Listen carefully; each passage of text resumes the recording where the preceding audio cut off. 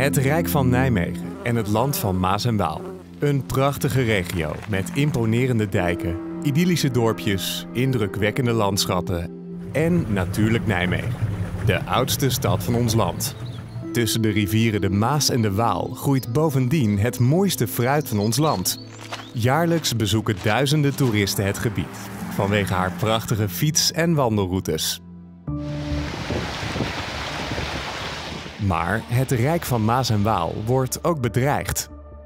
Onderzoeken tonen aan dat dit gebied zeer gevoelig is voor de gevolgen van klimaatverandering. Verdroging, wateroverlast, temperatuurstijging, extreme hitte, maar ook overstromingen vormen een steeds groter risico.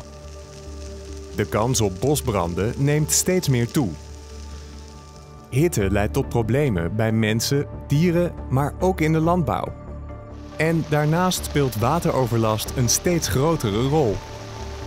Bewoners van het gebied zullen steeds vaker te maken krijgen met ondergelopen straten, woningen en weilanden.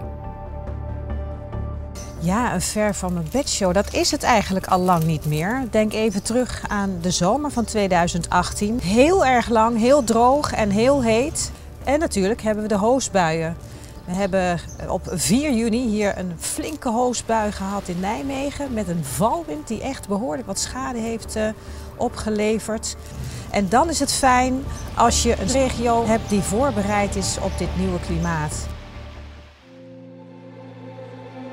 We moeten niet stil blijven zitten en wachten op wat er komen gaat. Het is tijd voor actie.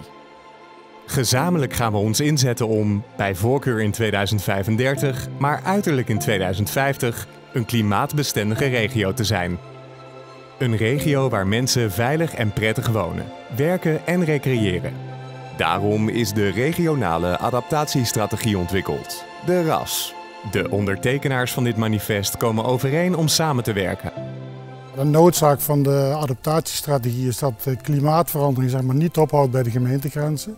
Dus het is van belang dat je daarin samenwerkt. Hè. Het bedenken van eh, dat wat je graag in je eigen gemeente wil, maar ook die kennis en kunde delen zeg maar, met, met je partners. In dit geval eh, de gemeenten, de provincie en het waterschap. Om op die manier zeg maar, te komen tot een gezamenlijke aanpak.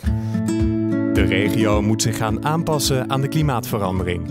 Verschillende groepen zijn al gestart met initiatieven.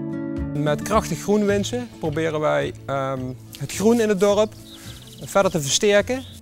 Een voorbeeld van de projecten waar we mee bezig zijn is het Groene Schoolplein. De hoofdmoot daarvan was van nou, de kinderen willen meer spelen. Wat de school ook wilde was weer meer groen terugkrijgen. Om er ook voor te zorgen dat er weer meer schaduw is en meer verkoeling is.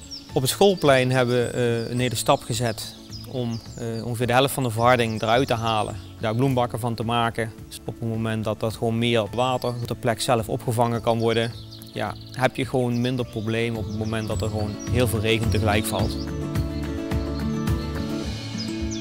In het bos zijn wij actief bezig met thema klimaat. We planten hier loofbomen aan uh, in een bos waar heel veel naaldhout al, aanwezig is. Uh, denk er bijvoorbeeld aan dat je langs wegen uh, is de kans bijvoorbeeld op natuurbrand iets groter. En een naaldboom brandt nou eenmaal sneller, dus daar wil je dan meer loofbomen. Maar ook doordat je soorten zoals de esdoorn, de linde en de zoete kers bijvoorbeeld in de bossen brengt, krijg je een gevarieerder uh, aantal boomsoorten en daarmee wordt het bos ook veerkrachtiger. We kijken op het moment in het fruitteelt naar maatregelen om te nemen om efficiënter om te kunnen gaan met het soort water hier in het riviergebied. En een van die zaken die daarbij spelen is de druppelirrigatie. Dus dat is echt plaatsspecifiek bij de wortels van de boom water geven. En dan moet u zien dat het over de boom heen beregenen een factor 3 à 4 meer water gebruikt als de druppelirrigatie rechtstreeks bij de wortels. Hoe doen we dat? We hebben hier een kuip gemaakt van plastic folie. Daar zit de boom in. En al het water wat eraan toegevoegd wordt middels deze druppelslang die er ligt, dat wordt geregistreerd. En er zit onder een drainingssysteem. Dus als het water terugkomt, wordt dat ook geregistreerd. Zodat we precies kunnen zien van hoeveel water heeft een boom nou eigenlijk nodig in een bepaalde periode van een jaar. We staan hier op het Maasplein in Nijmegen. En uh, ja, daar is heel hard gewerkt het afgelopen jaar. De gemeente Nijmegen, operatie Steenbreek Nijmegen en ook de bewoners rondom dit plein.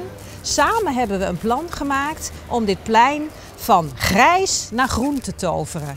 Zodat het dus, als het nog heter wordt, hier heerlijk kan worden verbleven.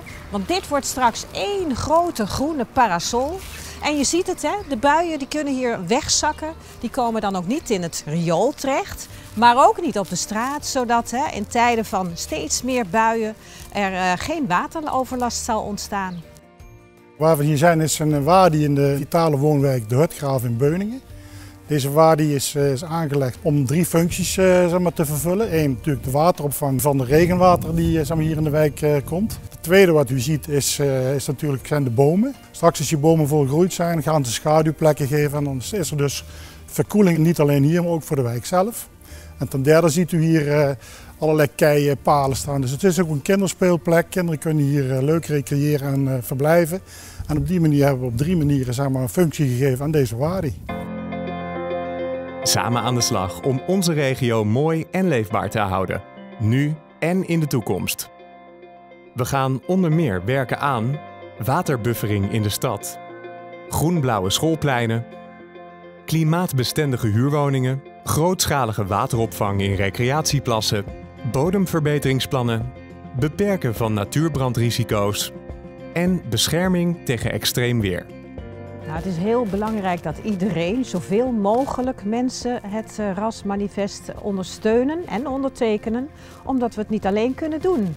De gemeente kan het niet alleen, de provincie kan het niet alleen. We hebben eigenlijk iedereen nodig. Dus iedereen moet zijn schouders eronder zetten. Het waterprobleem oplossen doe je niet alleen. Daar is winst gewoon te klein voor. Uh, maar dat doe je met veel meer partijen. Want als je het hier oplost en, en bij de buren is het niet, dan, ja, dan krijg je het probleem van de buren komt alsnog uh, deze kant op. Wat ik altijd zeg, hè, klimaatverandering is accepteren van dat de fysieke leefomgeving van nu een andere is dan die van morgen. En dat, uh, ik denk dat dat ook wel helpt om uh, niet alleen voor ons als bestuurders, maar ook voor de mensen voor wie we verantwoordelijk zijn, om die ook duidelijk te maken waarom we dit doen. Ja, we denken als boswachters al behoorlijk ver vooruit, soms al 50 jaar. En we zijn dus nu al bezig om het bos van de toekomst veerkrachtig te maken.